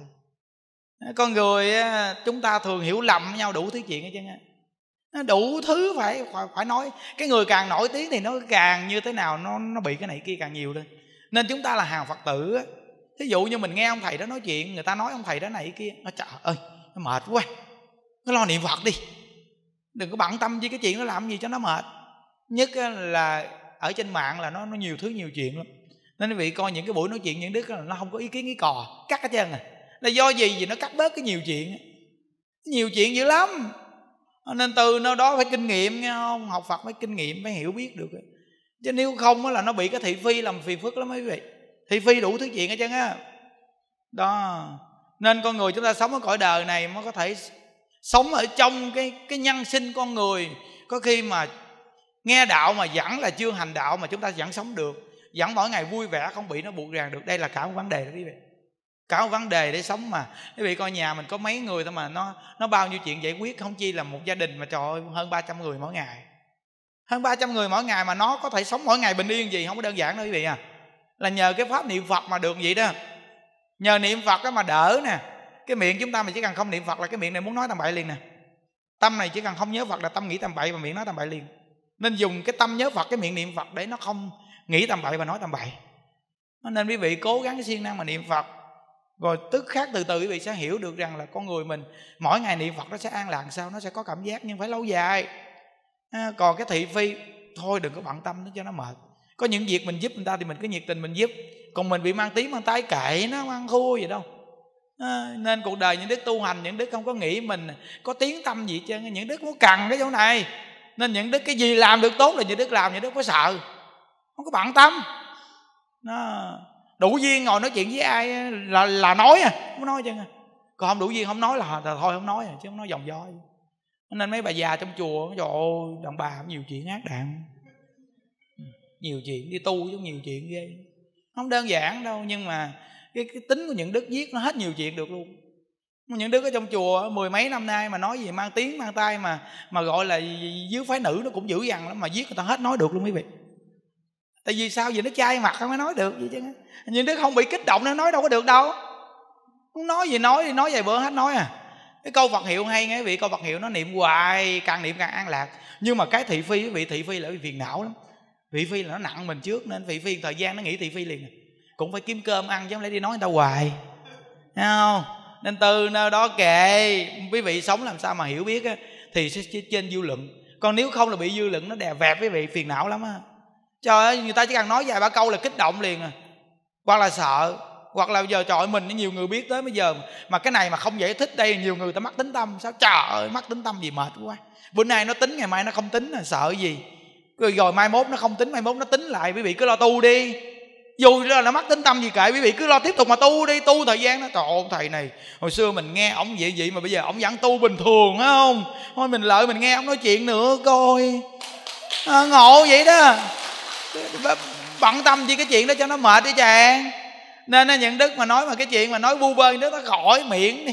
Quan tâm chuyện thế gian này cái gì mà danh gì lợi trời. Bữa nay người ta tin là duyên, ngày mai người ta không tin là hết duyên thôi. Đi giải thích gì cho nó mệt, càng giải thích càng lu bu. Cái khi cần việc giải thích thì giải thích, còn mấy đừng có giải thích vòng do nó, nên trong chùa nè, sống nè. Trời, mấy trăm người này. Đúng là luyện công đầy đủ. Luyện công đầy đủ đừng có nói mà trẻ gì, có những bà già sáu bảy chục tuổi luôn. Ờ, bà già chát luôn mấy thầy chừng hai mấy, ba mươi tuổi, ba mấy tuổi gì mà bà cũng yêu với thầy nữa. Viết thơ kịch liệt, cái chùa này có không có? Những đức đến, những đức gặp bà những đức nói thông cảm cho bà. Tuy bà già, nhưng tâm bà không có già, đúng không? Mới nói à đúng. Thì coi, trời ơi, cái này là trong chùa người ta lãnh đạo đây, người ta biết cái trơn mà. Dù là già bảy tám chục tuổi mà vẫn tình cảm là tình cảm mà nên quý vị biết, phải hiểu biết cái cõi đời là cõi gì cõi dục. Đó là cõi dục thì cái thân này là nó theo ngày tháng mà già. Còn cái tâm này đâu có già. Cái tâm là cái tâm là nó bình thường. Cái vọng tưởng là từ tâm phát ra mà cái tâm này nó đâu có già. Cái thân nó già vì nó già mà còn còn còn già mà còn không nên nết, tầm bậy. Không nên nết là quý vị mới nói là cái tâm không nên nết. Chứ nó là già là theo ngày tháng nó phải chết thôi. Còn cái tâm này không nên nết thì đời đời kiếp kiếp chúng ta trong lục đạo nè nên quý vị biết phải thông hiểu mới nuôi được người già. Thông hiểu mới nuôi được con người á. Nó bao nhiêu chuyện mà ở trong đó mà thông hiểu mà tu á. Chứ nó không có đơn giản đâu quý vị à. Rồi ơi. Người ta ở đây người ta coi chúng người ta biết mà. Nó, có những ông thầy mà ông còn trẻ trẻ buổi sáng ổng không tu. Cái đi đi xuống cái có những bà già bà gặp bà nói à biết rồi đó nghe. Trời ơi bà như con gái luôn không khác bà già đâu không có nói bà già. Bà, như con gái bà ghen tuông lum chứ á có không? Đây cũng có mà. Vậy mà những đứa cứ bào mòn bào mòn bào mòn bào mòn hoài. Bỏ cái thời gian năm, sáu năm chờ nó bào mòn bào mòn bào mòn, đúng là mưa lâu thấm đất. Nó mới được gì đó quý vị à. Chứ ngày lúc trước là thôi, nó tùm lum tùm la chân á. Chứ đừng có nói một ngôi chùa mà bị chủ trì không quan tâm. Trời ơi, ngôi chùa đó, cái chợ, chùa gì. Những đức nói đây là những đức lãnh đạo con người, những đức sâu sắc, những đức biết nè. Nó đủ chuyện xảy ra chứ á ôi, xấu gì mà những đức xấu gì mà còn được mấy bà già yêu mà. Trời ơi, có không có chứ? Có xong có. Đúng là cái mặt này vô duyên, toàn là già yêu. Mà đố mà thấy cô trẻ nào yêu. Không? vô duyên thì thôi, cái cái cái cái duyên nó vậy rồi, đúng không? Khi gặp mấy cái cơ vậy mình cũng nói chuyện thôi, cố gắng tu hành đi. Đời trước tôi cũng già yêu cô còn trẻ bây giờ người già yêu tôi.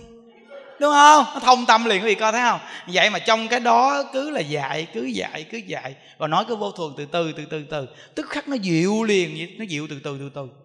Quý vị phải nhớ rằng thí dụ như giờ quý vị là người ăn chay niệm phật có lợi ích. Không phải là quý vị kêu gia đình, mẹ, ba, chồng con ăn chay. Không phải nói như vậy được. Mà quý vị chỉ cần đủ như quý vị nói cái sự lợi ích của ăn chay của quý vị thôi cái sự vui của quý vị niệm phật và sự ăn chay của quý vị là có lợi ích làm sao? Quý vị cứ làm đi. Và quý vị cứ nêu lên là mình ăn chay mình được lợi ích của mình thôi. Tự người ta sẽ có một cái cảm giác đó mà người ta nhìn nhận quý vị và người ta muốn học. Còn nếu quý vị áp đặt nó rằng ăn chay, niệm phật, người ta không phục. Chính quý vị nè, ăn chay niệm phật phải ăn là ăn sao nè? Rồi cái tấm gương này người ta sẽ muốn học quý vị à? Đừng có kêu bắt buộc chi? Nó muốn ăn mặn cái chuyện của nó. Đại lão à tượng tình không mà hơn 30 năm ngài xa gia đình, sau này gặp lại mẹ mẹ của ngài còn ăn mặn. Ngài hỏi mẹ mẹ có thèm ăn cái gì không? Bà nói, thích ăn con cá nướng chiên gì đó. Ngài nói, được rồi, cho người cư sĩ ăn mặn, mua cá gì làm mặn cho mẹ ăn. Rồi xong là tự nhiên không, ngài nói, con ăn chay mấy chục năm nay, cái lợi ích ăn chay nó lợi ích lớn cho bản thân con con khỏe, con niệm phật, con vui vậy đó mà bà, bà mẹ bà chở về nhà tức khắc bà phát tâm ăn chay trường luôn vậy đó. Thì thôi cái sức cái sức mạnh của chính mình mà làm việc đó vị thấy cái sức đột phá nó cao chưa? Còn chúng ta là ưa bắt buộc khuyên người ta không nghe thì săn si. Kêu người ta niệm phật người ta không niệm thì khó chịu. Còn người chồng ăn mặn thì nói ừ ông ăn đi ông ăn đi. Rồi mai mốt nè ông đọ địa ngục cho mà thấy. Nói tầm bậy không không? Nói cái chuyện đó người ta không phục mình đâu mình có lo ăn chay niệm phật của mình đi mình đừng có bắt ép gia đình chi. Tới đến lúc mà nó duyên đến, tức khắc nó thấy cái vị lợi ích là nó học theo. Rồi rồi nó thấy vị niệm phật vui, an lạc, ăn chay khỏe mạnh thì nó làm theo. Rồi vị ăn chay niệm phật quý vị trẻ chung. Họ hỏi mình mình mới nói là lúc mà ăn chay thì tâm tính nó không có sân hận lúc niệm phật thì tha thứ. Từ nơi đó mà thấy ăn chay niệm phật vui nên con người thấy trẻ chung ra, thì người ta tự nhiên muốn học quý vị liền, thấy không? Đó đó là cái chỗ lợi ích lớn đó quý vị. Thứ năm, học buông bỏ cuộc đời như một chiếc vali, lúc cần thì xách lên, không cần dùng nữa thì đặt nó xuống. Lúc cần đặt xuống thì lại không đặt xuống. Giống như kéo một túi hành lý, nặng nề không tự tại chút nào cả. Năm tháng cuộc đời có hạn, nhận lỗi, tôn trọng, bao dung mới làm cho người ta chấp nhận mình. Biết buông bỏ thì mới tự tại được cuộc đời như một cái vali cái thân này như một chiếc vali cứ kéo đi kéo kéo lúc còn trẻ thì kéo nhanh đúng không? Càng ngày rồi kéo chậm lại. Những đức thấy bây giờ những đức 40 tuổi nó hơi giảm sức khỏe một chút quý vị. Nó không được như cái lúc 30 tuổi đâu. Ừ, giảm lại đó. Nên từ nơi đó mà rõ ràng quý vị ơi cuộc đời con người mình còn sức á, mình kéo nhanh quá với cuộc đời này. Cuối cùng đến cái tuổi già mình rồi mình lết bánh quý vị nhìn lại đi. Đây là bao nhiêu trăm bà già này một chiếc qua ly già mấy trăm qua ly già kìa nó lết nó kéo. Ọt ạt ọt ạt kìa quý vị. Kéo mà còn cái bánh này hư cái bánh kia rụng kìa. Bánh này hư là gì? Quý vị coi mấy bà già xì que phải rụng không? Có có những bà già đi mà cái cái cái cổ nghiêng qua qua bên đây. Còn cái mông thì nghiêng qua bên đây. Trời ơi có mà. Có những bà già trong chùa đó cái đầu nó nghiêng hướng này cái cái cái cái mông nó nghiêng hướng khác đi mà nó ẹo bên gì? Những đứa hỏi ngày xưa bà con gái phải tướng này không? Nói, không đâu thầy, con còn con gái mà con tướng này chắc con ở giao à. không phải tướng này đâu thầy ơi. Nó nên mấy đứa con gái trẻ trẻ nhớ này các con. Cuộc đời con người của mình nó không phải tồn tại hoài vì cái sắc đẹp này đâu. Nên cuộc đời chúng ta nếu biết cái loài hoa này sớm nở chiều tàn, thì chúng ta biết dung bồi khi còn trẻ. Dung bồi cái gì? Đạo đức làm người đối với chữ hiếu với cha mẹ, đối với cái nhân cách làm người phải nhận thức được. Còn nếu như các bé gái mà các con không biết dung bồi, thì cuộc đời các con cũng là như hoa sớm nở chiều tàn. Một loài hoa mà gọi là mình tặng không cho ông bướm vậy đó. Khi nó hút hết hương vị rồi nó tự vứt mình qua một bên này nếu mình biết sử dụng loài hoa này thì nó cũng tồn tại tương đối lắm. Phải khéo léo các con à. Chứ cái xã hội bây giờ chúng ta rất dễ bị nó lôi kéo nên từ đó mà mỗi một người chúng ta nên biết sử dụng khoảng thời gian của cuộc đời mình cho nó đúng nghĩa, quý vị. Nó, biết sử dụng khoảng thời gian này đúng nghĩa thì cuộc đời có ý nghĩa. Còn nếu không biết sử dụng cái khoảng thời gian đúng nghĩa thì cuộc đời chúng ta sống một đời vô nghĩa, quý vị à. Rất là nhiều cụ già gặp những đức nói, con ao ước gì con còn trẻ, còn khỏe như ngày xưa, con sẽ làm những điều thiện để phụ với thầy một tay, con sẽ phát tâm nuôi người già. Những đức nói bà còn trẻ ngày xưa ai rủ bà đi tu chứ bà quýnh? Người ta quá à sao mà bà chịu? Bây giờ bà già rồi bà mới nói câu này. Thôi câu này thì cũng được đi. Để tôi lấy câu này tôi nhắc những người trẻ. Đừng đợi tuổi già mà hối hận. Nhớ. Đừng đợi tuổi già mà hối hận nha quý vị. Nó từ nơi đó mà những trưởng đoàn rồi dẫn người ta đi tu ý nghĩa đó quý vị. Những đức thấy cái việc làm quý vị dẫn người ta đi tu là ý nghĩa nhất của cuộc đời quý vị từ khi quý vị có chồng tới giờ và có con, nó còn chưa có ý nghĩa, bằng là vì dẫn ta đi tu. Nó không có ý nghĩa bằng dẫn người ta đi tu. Dẫn người ta đi tu mà mình cũng được đi tu.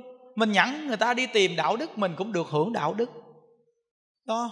Nên từ nơi đó cái ý nghĩa vô cùng là hướng dẫn người ta tu được. Và mình có thể sống có đạo đức là ý nghĩa lớn nhất đó quý vị nó, nên à, đừng có bị cái cõi đời này nó dẫn dắt mình mệt lắm. Sống đơn giản đi quý vị. Tết gần tới rồi, đúng không? Có chuẩn bị mua đồ đạc gì chưa? Đi ăn tết. Nó có định mua mấy bộ đồ gì chưa?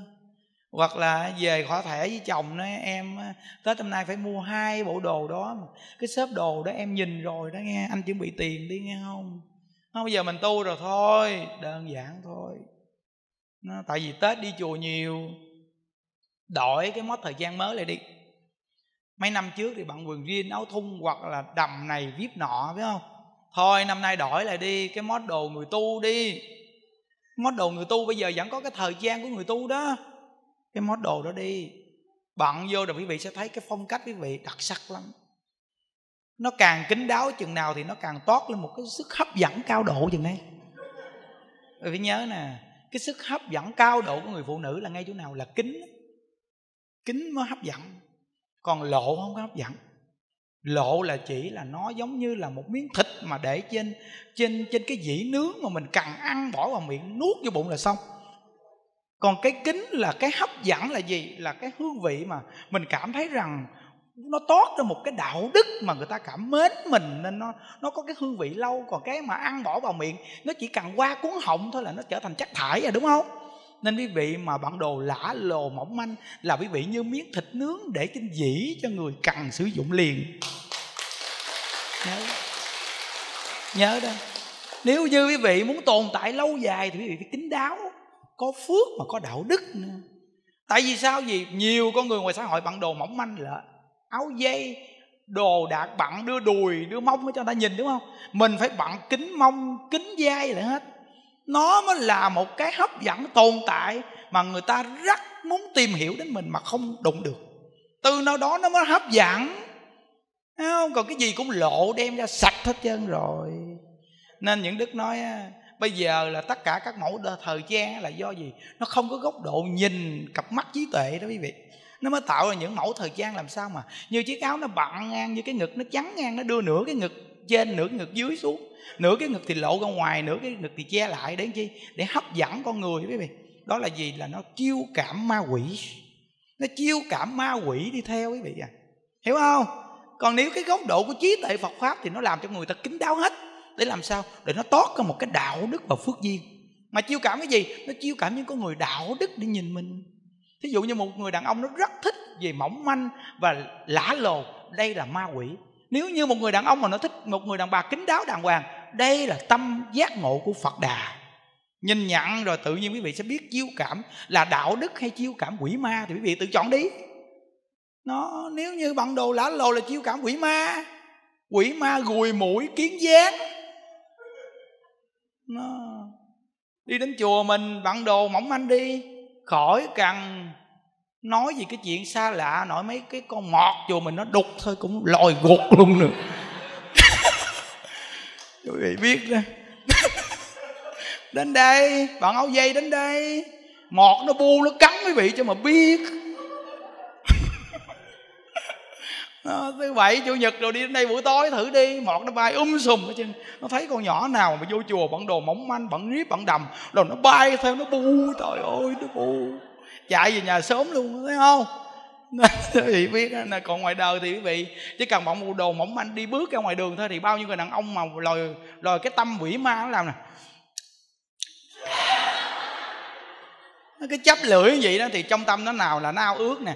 Trời nhỏ này mà mình mà qua đêm hoặc là mình được nó này kia đồ, trời ước gì mà được, ước gì mà được, thì cái tâm đó là cái tâm của ma quỷ. Nó trồng hạt giống ma quỷ thì đọa lạc trong tam đồ quý vị đi một vòng là quý vị chồng cho người ta là tam đồ ác đạo không mà quý vị làm sao? Không đọa địa ngục. Quý vị gieo cho người ta cái nhân giải thoát thì quý vị giải thoát. Quý vị làm cho người ta cái tâm đọa lạc thì quý vị đọa lạc à? Nó, có một cặp vợ chồng này đi đến gặp những đức nói, trời thầy con nghe thầy nói chuyện, con mới thấy cái tội lỗi của con. Ngày xưa vợ chồng con vợ chồng con là bán đĩa đen á thầy. Đĩa đen á. Vợ chồng con bán một thời gian, hai chồng con chia tay luôn. Kỳ cục đúng rồi coi phim ảnh tầm bậy, cuối cùng người ta tan nát gia đình thì vợ chồng này tan nát. Nó ôi ơi, những đức nói với quý vị biết, quý vị gieo cái nhân không phải cho người ta, quý vị sẽ chịu cái quả báo liền, không nói chứ. Nên người ta nói câu, ngày xưa quả báo thì lâu, đời nay quả báo một giây nhãn tiền gì, nó mạt pháp rồi, nó cặn bã rồi. Nếu quý vị tạo nghiệp rồi, nó xuất phát rất là nhanh quý vị à. Nên làm thiện đi, làm thiện đi nó mới tồn tại, thiện nó sẽ tồn tại. Như cái lưỡi tồn tại, đúng không? Bây giờ chúng ta nói răng là ác còn lưỡi là thiện đi. Nó cái răng là ác mà quý vị coi nó nó, nó hung bạo ghê lắm. Có khi quý vị nhai cơm quý vị nhai nhanh lẹo bị cắn nó cắn lưỡi. Răng với lưỡi là cùng một hàm vậy mà răng nở lòng cắn lưỡi hay sao? Có không? Các bị bị gọi là ăn cơm mà mà răng cắn lưỡi không? Mà quý vị tự nhiên cái tâm quý vị nó lại tào lao là tức răng. Tự nhiên cũng là một thể. Ăn răng cắn vào lưỡi, tâm lại tức răng. Cái tâm nó nói không để tao bẻ mày? Cái răng nó nói, mày bẻ tao đi, ai đau? Nó không, nó cùng là một thể mà quý vị. Cuối cùng rồi ngày tháng đi qua khỏi cần bẻ nó cũng gãy, thôi răng nó rảy mà. Trong đây có nhiều người gãy răng không? Ai gãy răng đưa tay coi. Nên tương đâu đó rồi nó không có tồn tại, nó cứng mà không có tồn tại không? Nó thôi, chúng ta cứ sống cho nó thoải mái nhẹ nhàng. Trong cái cuộc đời này nhớ câu nè, không có thiệt thòi, nghe không? Đừng bao giờ nói hai chữ thiệt thòi, không có thiệt thòi, không có lỗ. Nhân quả công bằng lắm. Nhân quả công bằng lắm, nghe không? Đời này đẹp, đời này xấu, đời này giàu, đời này nghèo đều là nhân quả công bằng. Đừng có nói thiệt thòi trong đây, nghe chưa? Nhớ lên. Thứ sáu, học cảm động nhìn thấy ưu điểm của người khác, chúng ta nên quan hỷ, mừng vui cùng cho họ. Nhìn thấy điều không may của người khác nên cảm động. Cảm động là tâm thương yêu, tâm bồ tát.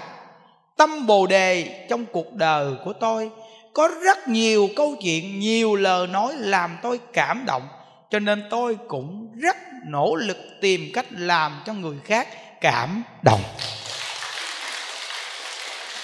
thí dụ giờ những đức nuôi người già, những đức cảm động đối với người già quý vị? Thấy rằng cái tuổi già mình sau này nó sẽ khổ đau lắm. Cái có một cái sức cảm động gì đó mà những đức đem cái này, những đức nói ra nhiều sáng. Những đức nói chuyện về bà cụ già mà mà qua 49 ngày rồi mà con không đến giải cốt. Cả cuộc đời của mẹ, của cha sanh mình, nuôi mình không lớn. Bà già ở trong chùa, bà được niệm phật, bà mắt đi thiêu xong 49 ngày, đem hũ cốt rải ở ngoài biển tới ngày 49 mấy đứa con nói, thầy ơi, mấy thầy giải giùm con đi, chúng con bận quá. Lúc này gia đình lu bu quá, bận quá, thôi mấy thầy đi giải giùm đi nghe. Những đức nhìn cái hũ cốt bà già những đức nói rằng, chỉ có một chút này thôi mà các con nó cũng nói bận với mình sao ta? Quý vị coi, cuộc đời con người, quý vị thấy, cả đời quý vị giành giật của cải vật chất. Có giành giật không? Đi làm ăn mà quý vị có khi giành giật đó, để mà đem tiền của về nuôi con đó vậy mà đến khi tuổi già vừa không nuôi mà chết rồi, mà chỉ cần bỏ một chút thời gian lên đi cùng với quý thầy ra ngoài biển giải hữu cốt, nó có một cái tình người một chút xíu thôi. Vậy mà con bận con không giải được, quý thầy giải giùm đi. Cho quý vị biết nha, có nhiều bà cụ ở đây mắc khi cái quan tài mấy đứa con trai không dám ginh đó quý vị. Không dám ginh đó. Kêu nó vô ginh quan tài, nó thầy ơi. Ờ, ginh đâu? Hỏi sao con? Con con sợ chết theo. Đúng không? Hư tình giả ý không quý vị? Những đức nói, tao đi tu 11 năm tu kinh quan tài 11 năm này tao có chết đâu. Kinh 11 năm, bao nhiêu cái quan tài rồi? Quá trời luôn. Những đức thì không có đưa cụ lên đài quả tán, nhưng bất cứ một cụ nào chết, những đức cũng từng kinh quan tài chứ. Đều có kinh qua một lần cho các cụ đi lên trên chiếc xe đưa đến nơi lò thiêu. Nghe không? Đụng bao nhiêu cái quan tài rồi gặp bao nhiêu người chết rồi vẫn sống bình thường có gì đâu. Nên chúng ta đừng bao giờ nói về cái chuyện người chết ngày giờ đó là chúng ta bị chết chùm này kia được tầm bậy. Ông bà cha mẹ của mình sắp sửa mắt mình hộ niệm đàng hoàng. Mắt xong mình lo cái chuyện chính nhất đó là mình phải làm sao để giúp cái linh thức ông bà cha mẹ mà được giải thoát. Chứ bản thân của mình được cha mẹ ông bà sinh dưỡng nuôi không lớn bây giờ ông bà cha mẹ chết, chưa gì hết, mình đã kêu thầy bà đến đi có ngày giờ. Vì sợ cái ngày đó chôn mình sẽ bị xui rủi, hoặc mình sẽ chết chùm. Quý vị chết chùm là chắc. Xui rủi là chắc. Vì cái tâm của quý vị là cái tâm xui rủi và chết chùm. Cái tâm mà đối đãi với ông bà cha mẹ không có đạo đức, đó là cái tâm tổn phước. Hiểu không? Mình phải vì ông bà cha mẹ thì mình mới là tưới tẩm cái gốc cây. Còn mình mà quên ơn bội nghĩa là mình đang đoạn gốc mà làm sao mình tồn tại được cành lá hoa quả, quý vị? Cái cõi đời này chúng ta đang phong phú, cuộc sống là cành lá hoa quả. Mà muốn có cành lá hoa quả này phong phú thì cái gốc nó phải chắc, nó phải tưới tẩm cái gốc thì nó mới có thể hút được tinh hoa mà bổ dưỡng cho cành lá hoa quả, đúng không? Có người bây giờ là họ đoạn gốc mà họ muốn, họ được cành lá hoa quả đầy đủ thì không được đâu quý vị, không được đâu. Phải nghe đạo đức mới được. Đối với ông bà cha mẹ chúng ta chỉ có hết lòng, mỗi năm đám dỗ chúng ta niệm phật ăn chay, làm thiện hồi hướng lợi mình lợi người nó tất cả những việc lợi cho người là sẽ lợi cho mình à. Còn những việc mà muốn lợi cho mình sẽ hoàn toàn hại mình. Nên coi ngày giờ là nghĩ về cái hại mình thì là hại mình đó. Sợ hại mình là hại mình. Cứ nghĩ lợi cho ông bà, đừng nghĩ về mình, thì tức khắc là lợi cho mình à. Một trăm phần trăm là như vậy đó, phải nhớ đó. Thứ bảy, học sinh tồn. Để sinh tồn, chúng ta phải duy trì bảo vệ thân thể khỏe mạnh thân thể khỏe mạnh không những có lợi cho bản thân, mà còn làm cho gia đình, bè bạn yên tâm. Cho nên đó cũng là hành vi hiếu để với người thân. Bảy câu hay, mỗi câu rất hay quý vị. Nên vô chùa mình tu, những đức nói các cô các chú phải ăn uống cho nó đàng hoàng. Vì những đức cho ăn mà. Ngủ nghe đàng hoàng, giờ giấc sống theo quy tắc. Tức khắc mập mạp khỏe mạnh. Quý vị coi các cô chùa mình nữa cơ thấy không? Đâu có phải mà ốm ho gầy mòn, cha mẹ vô nhìn thấy đau lòng sao? Người ta thường nói á, một câu mà người ngoài đời người ta không hiểu, người ta nói nè, đứa con nào đi tu? Người ta nói, tội nghiệp nó ghê luôn. Còn trẻ mà nhỏ đi tu, tội nghiệp vô cùng. Người ta vô người ta thấy mình mập mạp khỏe mạnh, người ta đâu có dám nói câu này. Còn gặp mà vô mà thấy mình ốm o trời ơi ta nhìn ta nói đúng là thảm thiệt quý vị. Ăn chay nè, ăn chay nè thức khuya dậy sớm nè, nên da bọc xương nè. Ai mà dám tu theo, đúng không? Còn bây giờ quý vị coi mấy bà cụ trong chùa mình có mập mạp không mà mặt trắng tươi à. Con cái vô tâm nhìn đức hỏi, bà cụ bây giờ khỏe ở ngoài không? Trời ô thầy, ô bà bây giờ khỏe lắm rồi đó. Con thấy mẹ con trẻ quá trời luôn. Ô mẹ con sống gì là con yên tâm rồi, bà khỏe rồi. Thấy không? Còn nếu như mà quý vị tu tốt gì không biết mà nó nó săn xù ốm o như con cò vậy thì thua rồi, quý vị đem Phật pháp gì giới thiệu cho người ta. Nên chúng ta ăn chay, nhưng chúng ta ăn cho nó đàng hoàng, ăn đầy đủ. Tu là tu cái tâm này nè, chứ không phải cái chuyện ăn uống đó. Cái chuyện ăn uống thì ăn đúng giờ, đúng giấc. Thí dụ như khả năng ăn một trăm phần trăm, ăn chín mươi chín chín chín chín. Đừng có quan trăm được rồi. Chứ đừng có nói ăn 70 ăn 70 mà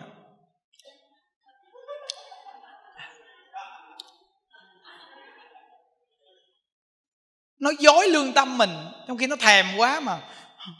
Được rồi, ăn ít lắm, chỉ có một chén thôi. Mà thấy người ta ăn thì một chén là được rồi. Nhưng mà trong tâm thì nó thèm khác trời ơi trời sao mình. Mình sống sao nó không đúng cái lương tâm mình vậy chứ, cái trời. Thấy không? Cái pháp tu này là cái pháp môn cái tu hành hoàn toàn nương vào tha lực chứ đâu phải hoàn toàn tự lực để giải thoát đâu. Từ nơi đó không có cần phải ép sát mình gì hết trơn á, miễn làm sao. Trong cái cõi đời này, vị ăn chay niệm phật mà nó mập mạp, khỏe mạnh, là người ta thấy vị người ta muốn tu theo rồi đó. Còn thấy nó còi xương ốm nhơm ốm nhách, đầu tóc chơm bơm như thằng khùng. Vậy thì đố mà người ta học theo đó quý vị à. Nếu như những đức học phật mà càng ngày nó càng teo ngắt âm nhơm nghèo nàn, không có cuộc sống gì chứ gặp ai cũng xin tiền vậy, làm sao những đức mạnh dạng nói chuyện với quý vị? Thấy không? Những đức ít gì từ đi tu tới bây giờ nó lên được mười mấy ký. Nó cũng nói ăn chay khỏe. Rồi bây giờ nói chuyện càng ngày càng tỉnh táo. Thấy không? Rồi con người nó không nặng nề gì cuộc sống. Thì mình những đức mới nói phật pháp là vui. Quý vị mới đi đến đây nghe chứ nếu như từng nào đi đến đây cũng nghe như đức nói à, thầy đang thiếu cái này nè thầy chuẩn bị sửa cái nhà bếp lại mà tiền bạc nó đang thiếu thốn quá. Thầy đang để một cái thùng ngoài trước mà cái thùng mà gom góp mà mà để mà mà mà phụ xây nhà bếp đó cái à, các phật tử. Bỏ giùm vô thầy được được chút giùm thầy đi. Đúng không? Gọi là thầy thầy chuẩn bị xây cái tượng bồ tát quán thế âm bốn chục thước cái tượng bốn chục thước đồng trời công công đức vô lượng. Công đức này lớn lắm. Mỗi phật tử bỏ giùm thầy một chút đi. Rồi xong cái cái đó là nói chung chung mới nghe, còn gặp mà đến mà gặp mà ngồi xuống một cái nói chuyện chút xíu. Còn, thầy nói với con nghe này nghe. Thầy chuẩn bị xây pho tượng bồ tát quán thế âm đó con. Cái cái duyên này không đơn giản đâu con à. Cái tượng này để đờ đó nghe không? Con coi quyên góp đi. Con quyên góp đưa cho thầy để thầy xây nghe chứ. Cái này là cơ hội cho con đó. Chứ thầy không có nói cho ai nghe đâu thầy nói có mình con đó. Cái cô kia nói chào chào vậy là cái duyên của con đến hả thầy? Ờ, tiền bạc gom góp bao nhiêu năm nay để con lấy thêm số tiền của ông chồng ông giữ con cúng cho thầy ghé cơ hội cúng dường trời ơi.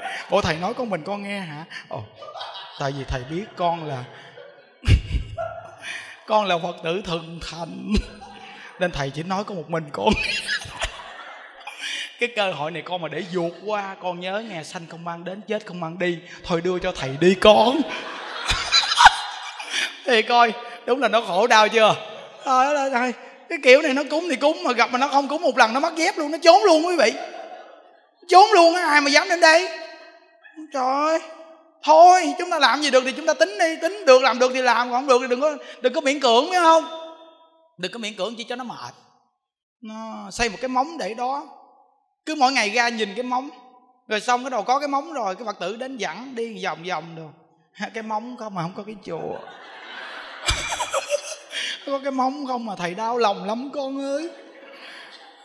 trong tâm tư thầy ước sao mà có ngôi chùa phật tử về đây được có nơi che mưa che nắng để mà tu hành? Vậy mà chỉ có cái móng không mà có à. Ơi ơi cái đầu phật tử người ta nặng lương tâm người ta. Bây giờ thấy thầy nói tội nghiệp, thầy quá cuối cùng đem tiền dành dụm đem cúng. Cúng thời gian không có tiền, cái gia đình lộn xộn lưu bu trời trời. Cúng giường chùa nhiều quá trời mà sao nhà lưu bu hoài à, nghỉ tu luôn. Đúng không? Nên cái gì làm được thì khả năng mình mình nhắm làm được thì mình làm còn người ta cúng là tùy duyên thôi đừng có nghĩ cái chuyện mà phương tiện này phương, phương tiện giết rồi nó luyện chúng sanh ra ngoài thùng rác hết trơn luôn chúng sanh chúng ta là không đủ trí tuệ làm sao phương tiện quý vị? Đúng không? Quý vị thấy về đây tu thấy yên tâm chưa? Ngồi nãy giờ đau chân không? Trời ơi! Nhờ nó đau chân nên nó yên tâm á. Hiểu không? Sao kỹ thầy sao đau chân mà yên tâm? Thì hỏi cái ông cười này, ông có đau chân không mà sao ông cười hoài à? Nếu mà ông đau khổ, sao ông cười nhiều dữ quý vị tôi hỏi ông là ông ngoài đời ông có được cười như ngày chủ nhật không? Nên tuần nào ông cũng đi đến đây ông cười chứ. Quý vị cũng được cười nó vị thấy không? Tại vì cái lúc nó đau chân là nó không vọng tưởng. Lúc đau chân thì nó không nhớ giàu sang, nghèo nàn. Lúc đau chân thì nó không nghĩ đẹp xấu. Nên tất cả những cái ngũ dục lục trần nó dẹp xuống thì tức khắc cái tâm nó định lại cái ngồi nghe ông thầy nói chuyện. Nó ngon gì? Nó định lại còn khi mà nằm nghỉ sung sướng rồi đó. Bắt đầu nó nghĩ, để soi gương coi, để đang nghỉ ngơi mà. Soi gương coi, thấy không? Rồi bắt đầu là cái gương thiệt là to, cái đứng nha. Trời, cái lúc mà nó nó nó đang sung sướng là nó vậy đó. Rồi bằng bộ đồ mới vô, bắt đầu là gì nghe nhí nhảnh nha. Thấy người mẫu rồi nó diễn tướng này tướng kia bắt đầu là ẹo theo. Nó nên những đức nói là lúc quý vị đang vọng tưởng là do lúc sung sướng, còn cái lúc nó đang đau chân ngay chỗ này là lúc đó nó đang dẹp hết ngũ dục lục trần nó cũng quên cái gương mặt mình sao luôn mà đang nghe thầy giảng thôi. Tức khắc lúc này là định tâm để nghe pháp. Không? Đó đàn chưa? Đó. chụp ở đâu cũng ra vào pháp nhưng vị thấy không? Mà nói nó đúng đúng ngay một số người luôn nha trời ơi. Quý vị đi chùa quý vị thấy có cực gì sức dầu thơm được không? Không. Vì sao? Đến chùa sạch không có hôi. Vì đi vô chùa nó nghe niệm phật nghe pháp nên nó không có cái trượt đổ ra nên không cần sức dầu thơm mà người vẫn thơm.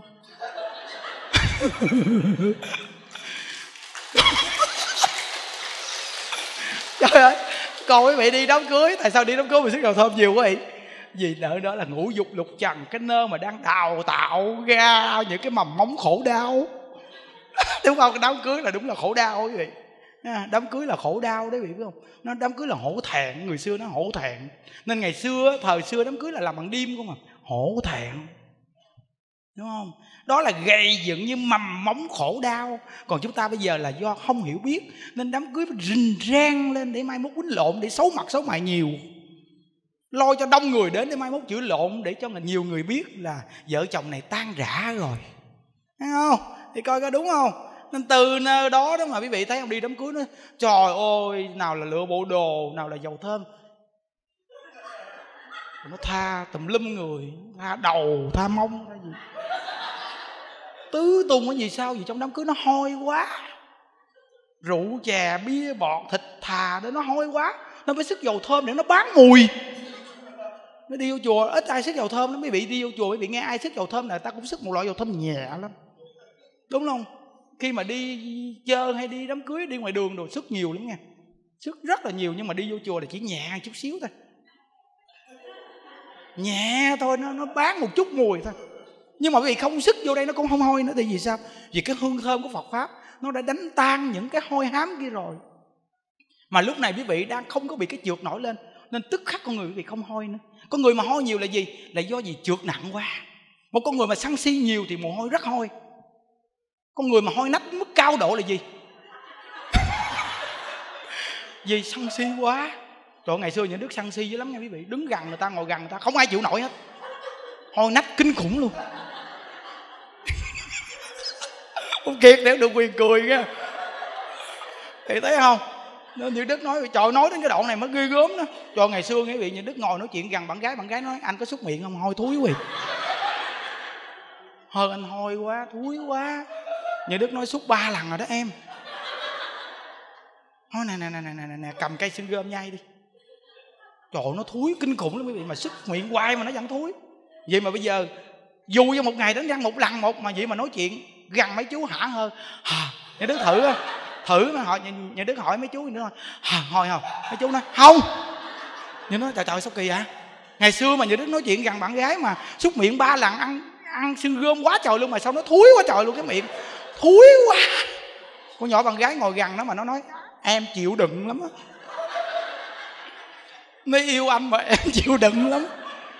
Trời chịu đựng với mình trời trời ghê gớm vậy đó. Còn khi mà lâu lâu nghe tự nhiên mình vô công viên thành phố mà tự nhiên, trời ơi, mình muốn ôm nàng một cái, nàng nói, em em nín thở. Quý vị thấy cái cái cái thờ ăn mặn trượt ác không? Trời, ăn mặn sát sanh quý vị cái tâm sân hận hôi mùi nó hôi thối, bao nhiêu dầu thơm sức vô mà nó khét. Tại vì sao? Vì nó quá hôi thối, nên dầu thơm nó bỏ vào nó thành mùi khét luôn. Giữa dầu thơm và cái chất mùi hôi nó kết hợp lại, nó không còn mùi dầu thơm nữa mà nó thành khét khét khét khét. Nồng nồng nồng nồng. Trời ơi cái mức này mà đến ghê gớm chịu không nổi luôn nha quý vị. Vậy thì quý vị muốn xả hết những cái mùi hôi này không? Niệm phật. Tâm quan hỷ, ăn chay. Tức khắc mồ hôi, hết hôi, miệng đỡ hôi miệng. Vì cái hôi miệng là hơ, chứ không phải là răng, mà hơ. Hơ là từ túc nghiệp của cái tâm. Cái tâm mà con người này đã từng đọa lạc nhiều đời, nhiều kiếp, nên cái túc nghiệp của tâm, nó khoác ra cái hơi hôi hám. Cái hơi hám và mồ hôi này là do túc nghiệp muốn chuyển túc nghiệp thì phải niệm phật, phải an lạc, phải vui vẻ, phải tha thứ. Tức khắc là nó giải tỏa được cái mồ hôi và hôi miệng liền. Chứ không phải là kem đánh răng loại này loại kia mà quá giải nổi đâu, không nổi đâu. Vì cái hơi mà, cái kem chỉ đánh bên ngoài, còn cái hơi là không thể nào mà dùng cái cái loại vật chất gì mà giải quyết được. Chỉ có cái cái cái tâm niệm phật, cái công đức niệm phật mới quá giải được. Và thượng tịnh không ngày cũng nói ngày hôi miệng mà, hôi nách mà mà niệm phật hết đó quý vị. Những đức cũng vậy nè trời, lúc trước mà như đức ngồi đây, đố mà mấy ông ngồi chịu nổi á. Như đức nó bảo đảm, những đức mà như ngày xưa mà, như đức nói chuyện ở đây nghe là mấy ông ở dưới là chịu không nổi. Nó hôi đến mức vậy đó, trời ơi, nó hôi dữ lắm quý vị ô mà chính nhân đức còn thấy mình hôi mà. Hôi ghê lắm. Ôi ôi ngày xưa mà quý vị biết mỗi lần mà đi cầu một cái, trời trời nó sao phân mình, nó thúi dữ thôi mà lúc mà ăn mặn mà ăn nhậu mà ăn thịt thả vậy trời đi phân nó phân nó thúi kỳ cục lắm. Mà bây giờ những đức đi phân những đức ngửi thử như đức nói phân bây giờ nó không thúi nghe. Thúi một chút rồi chứ không thúi nhiều. À, ngộ ghê ăn chay nó lạ ghê cái này là xác thực nhất đó quý vị. Tùy quý vị nghe những đức có không kêu quý vị làm chuyện này đâu. Những đức hy sinh để mà nói với vị nghe đó. Trời ơi giảm pháp mà đến cái mức này là rùng mình rợn óc luôn. Hết lòng rồi đúng không quý vị thôi đủ đủ rồi ha.